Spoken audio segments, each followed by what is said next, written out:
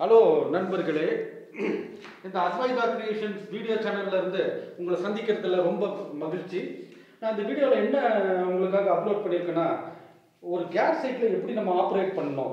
எல்லாரும் care cycle வாங்கி வீட்டில் வச்சுட்டு அதை எப்படி ஓட்டணும்? எப்படி கேர் சேஞ்ச் பண்ணணும்னு தெரியாமல் நிறைய பேர் வந்து தப்பு தப்பாக அந்த கேரெல்லாம் சேஞ்ச் பண்ணி அதனால் கேரோட கேர் சாஃப்ட்வேர்லாம் உடஞ்சு நிறைய பிரச்சனைகளை சந்திச்சுக்கிறதுனால அதிலிருந்து தவிர்க்கிறதுக்காக உங்களுக்காக இந்த வீடியோவை வந்து அத்வைதா கிரியேஷன் சேனல் மூலிமா நான் உங்களுக்கு சொல்ல விருப்ப விருப்பப்படுறேன்.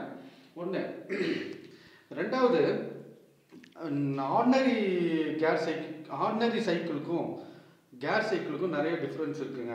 ஆர்டினரி சைக்கிள் வந்துட்டு சும்மா நம்ம ரைட் பண்ணால் போதும். ஆனால் கேர் சைக்கிளை பொறுத்தளவுக்கு ஆப்ரேட் பண்ணும் ப்ளஸ் ரைடும் பண்ணும்.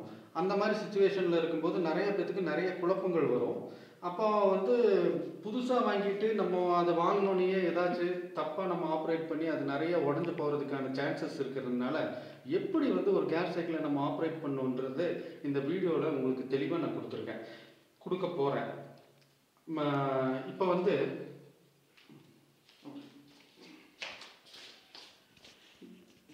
இங்கே பார்த்தீங்கன்னா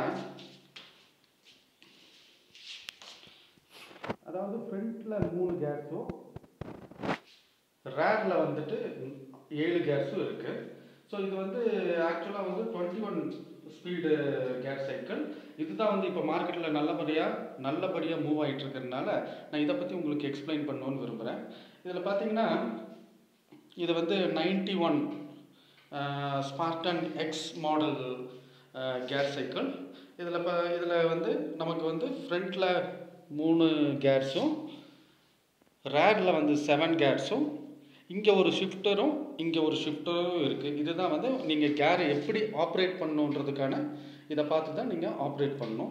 இப்போ பின்னாடி பார்த்தீங்கன்னா கேர் கேஸ்கெட் இருக்கு. இதுதான் இது வந்து இது வந்து பார்த்தீங்கன்னா சிமோனா கேர் கேட்ஸ்ன்னு சொல்லிட்டு மொத்தம் ஏழு பல்லு பின்னாடியும் முன்னாடி பார்த்தீங்கன்னா மூணு பல்லும் இருக்கும். எப்பவுமே வண்டி ஓட்டுறதுக்கு முன்னாடி அந்த அந்த கேரில் இருக்கிற சைக்கிள் செயின் வந்து ஸ்ட்ரெயிட்டாக இருக்கான்னு பார்த்துட்டு நம்ம ஓட்டணும் அதே மாதிரி முக்கியமாக இதில் கவனிக்க வேண்டிய விஷயம் என்னன்னா வண்டி நின்றுட்டு இருக்கும்போது சைக்கிள் நின்றுட்டு இருக்கும்போது கேர் சேஞ்ச் பண்ணுறத வந்து கூடாது. அப்படி சேஞ்ச் பண்ணும்போது உங்களோட அந்த கேரு வீலில் இருக்கிற பல்லுங்கள்லாம் உடஞ்சி நிறைய பிரச்சனைகளை உருவாக்குறதுக்கு இது சான்ஸ் அமையும். அப்போ நீங்கள் எப்போ கேர் சேஞ்ச் பண்ணணும்? அண்ட் எப்போ கேர் சேஞ்ச் பண்ணணும்னா வண்டி ரன்னிங்கில் இருக்கும்போது தான் நீங்கள் கேர் சேஞ்ச் பண்ணணும். சரி அப்போ வண்டி ஸ்டார்ட் பண்ணும்போது சைக்கிளை ஸ்டார்ட் பண்ணும்போது எந்த கேர்லேருந்து நம்ம ஸ்டார்ட் பண்ணணும் அப்படின்ற ஒரு கேள்வி உங்களுக்குள்ளே தோணும். அப்போது அதாவது முன்னாவது கே முன்னாடி இருக்கிற கேரை ரெண்டில் வச்சுட்டோம். ரேர் கேரை வந்து நாலு அஞ்சு ஆறில் வச்சுட்டு நீங்கள் ஸ்டார்ட் பண்ணலாம். நான் மேக்ஸிமம் வந்து ரெண்டு நாலு வச்சுட்டு நீங்கள் மற்ற வண்டியை ஸ்டார்ட் பண்ணும்போது மற்ற ரோட்டில் வந்து அதை வச்சு நீங்கள் ஸ்டார்ட் பண்ணலாம். ரெண்டாவது வந்து நல்ல ஹைவேஸில் போயிட்டுருக்கேன் நான். அப்போ நான் ரெண்டு நான் எந்த கேரில் வந்து சைக்கிள் ஓட்டணுன்னு நீங்கள் கேட்டிங்கன்னா அது பார்த்தீங்கன்னா கேர் ஃப்ரண்ட் கேர் வந்துட்டு மூணில் வச்சுட்டு ரேர் கேர் வந்து அஞ்சு ஆறு ஏழில் வச்சுட்டு நல்லா அந்த இதில் வந்து ஃப்ரீயாக இது பண்ணலாம்.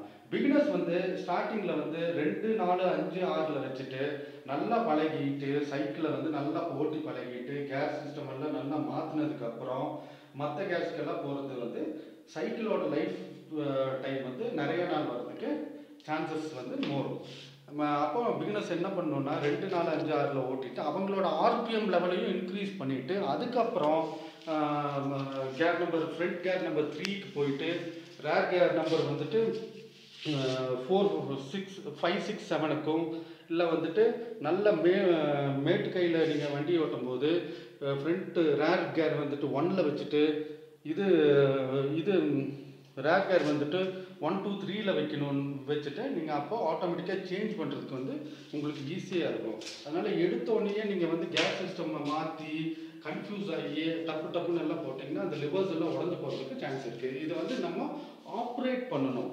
ரைடும் பண்ணணும் ஆப்ரேட்டும் பண்ணும்போது நம்ம வந்து எல்லாமே சு- அந்த லிவர் எல்லாம் வந்து கொஞ்சம் சாஃப்டாக இது பண்ணணும். நம்ம தெரியாமல் வந்துட்டு தேவையில்லாமல் நம்ம லிவர்ஸையோ இல்லை வந்து கேர் சேஞ்ச் பண்ணோன்னா எல்லாமே உடையிறதுக்கு வாய்ப்புகள் அதிகம்.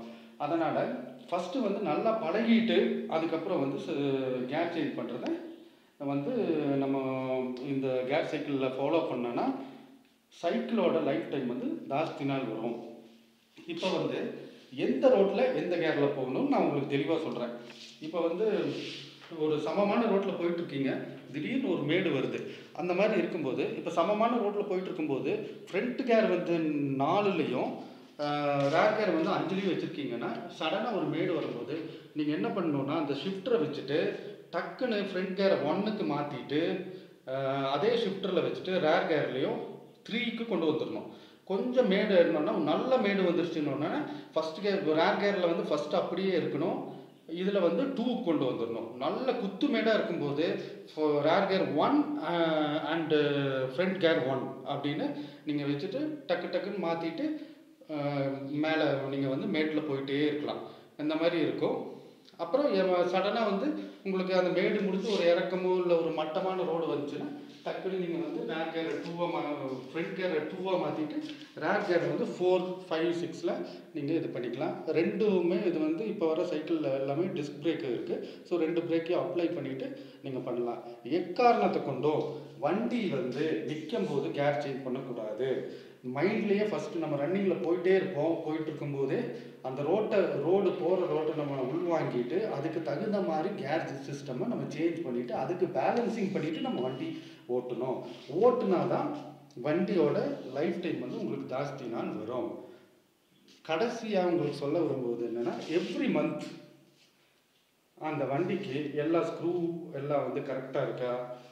ஆயில் வந்து ஆயில் வந்துட்டு ஆயில் சர்வீஸ் வந்து நீங்கள் ஒன்று பண்ணணும். ஏன்னா இது வந்து கேஸ் சிஸ்டமில் இருக்கிறதுனால ஆயில் வந்துட்டு எல்லாத்துலேயும் லூப்ரிகண்ட் வந்து கரெக்டாக இருக்கா லூப்ரிகண்ட் லெவல் கரெக்டாக இருக்கான்னு பார்த்துட்டு எல்லா ஒரு சர்வீஸ் நான் முடிஞ்ச அளவுக்கு எங்கே வாங்கினீங்களோ அங்கேயே கொடுத்து சர்வீஸ் பண்ணுறது நல்லது.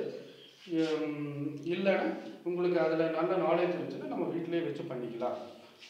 இப்போ பண்ணிவிட்டு இது பண்ணிக்கலாம். இந்த மாதிரி நீங்கள் கரெக்டாக சைக்கிளை மெயின்டைன் பண்ணிங்கன்னா கிட்டத்தட்ட பத்து வருஷத்துக்கு உங்கள் சைக்கிளில் எந்த ஒரு குறைபாடும் இல்லாமல் நீங்கள் நல்லபடியாக ஓட்டிட்டு நல்லபடியாக சைக்கிளை வச்சுக்கலாம்.